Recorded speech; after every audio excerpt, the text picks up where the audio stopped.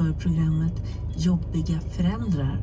Och det ska handla om det som vi föräldrar hör av oss oftast till skolan om, nämligen läxor.